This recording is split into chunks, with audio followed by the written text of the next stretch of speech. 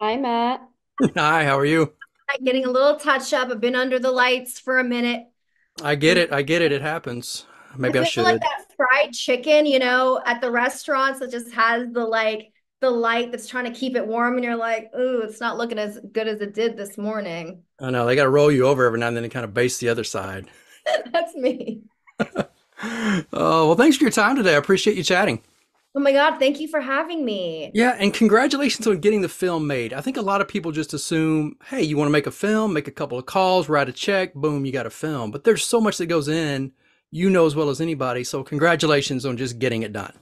Thank you for recognizing that because it is a miracle that anything gets made. If you knew how many movies I've tried to get made that did not get made, it, you know, breaks my heart. And I'm just absolutely just tickled that we have an actual movie and that it's coming to theaters. Like this actually happens anymore. I thought only Marvel movies went to theaters. So it's really blowing my mind.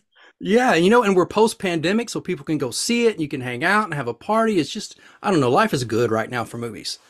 Good. Life is good. It's it's I'm I'm, I'm going to go to San Francisco and see it with my family. My dad has not seen it, so that'll be interesting.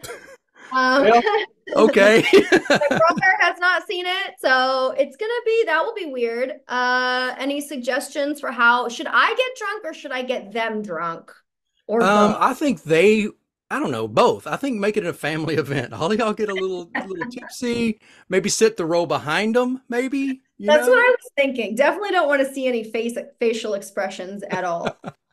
Yeah, you know, but I think they'll they'll get it the same way we did. That I have to admit, going into this movie, I was so surprised how much I teared up before it was done. That opening uh, set and the opening scene and getting an idea of exactly what Nellie was, and then all of a sudden it just you're really good at just like gut punching our soul when we least expected it. So, uh, All I want to do is gut punch souls right and left. so um, let's talk a little bit about because I mean you wrote it and you acted in it, you directed it. There were so many moments where you were raw and vulnerable. Talk about writing those moments compared to actually physically having to act those moments because I think writing some, a character that's raw and vulnerable would be one thing, but when you have to do it yourself and be that open, kind of Yeah. talk about that transition a little bit. I it was a pretty quick transition because I wrote it and I was very demanding. I was like, we're shooting it this summer. I'll shoot it with my friends if I have to for $5 because as you know, once you sell it to a studio system or once you go into development, good luck. Good luck. The the analogy I always use that I haven't told on this round is that I say indie film is like a group of people and they're trying to cross the Atlantic in a little dinghy boat, right?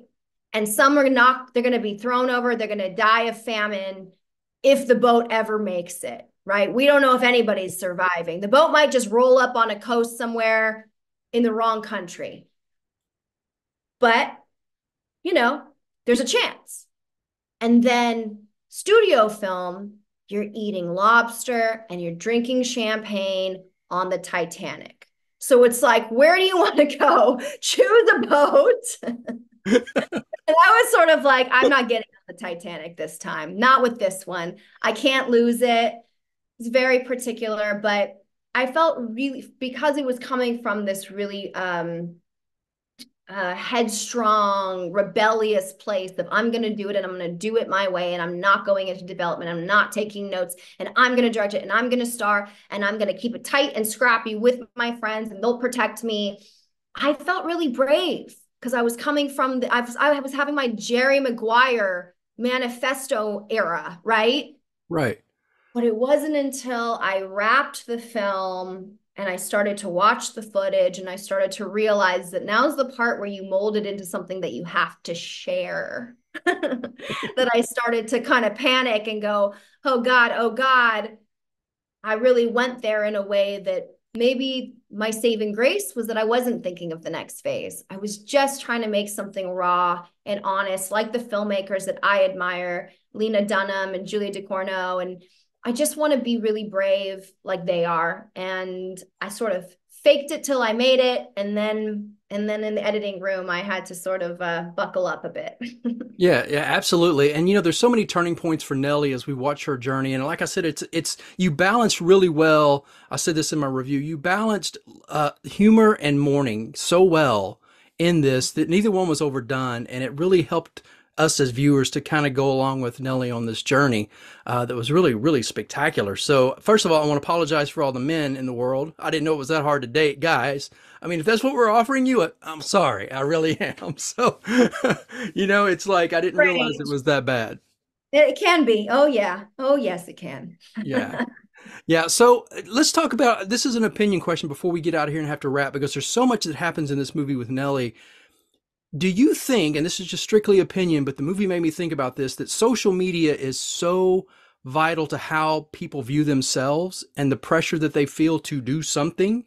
Like, you know, watching your friends get married, watching all the posts online, you know, seeing what everybody else is doing with their life. Do you feel like that adds the pressure to people like Nellie to, oh my gosh, I got to make a move? Yeah, in many ways, I feel like it's this tool for comparison because it it's an onslaught. And you can check in on all these people's lives and see the ways that you're you're really just seeing the highlight reel. And it's really easy to feel like you have been left behind or that you're failing in some way. I mean my instagram is no different.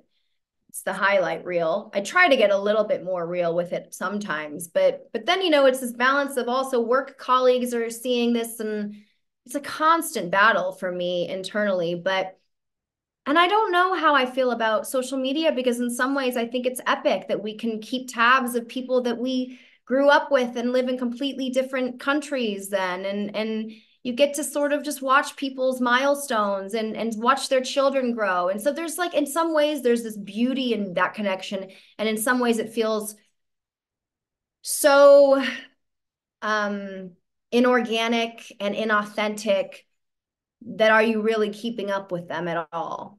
I don't know. I don't have the answers, but I will say it's a huge tool for comparison that I think causes a lot of people a lot of pain. For yeah, sure. It, it's a balance for sure that we have to do. Well, again, it was a great film. I always applaud indie filmmakers for staying the hell off the Titanic and doing it with a group of friends in the indie direction. So applause to that. It's a great film. Wish you good luck with it, and uh, can't wait to see what you do next. Thank you so much, Matt. Thanks for talking. You bet. Take care. Bye.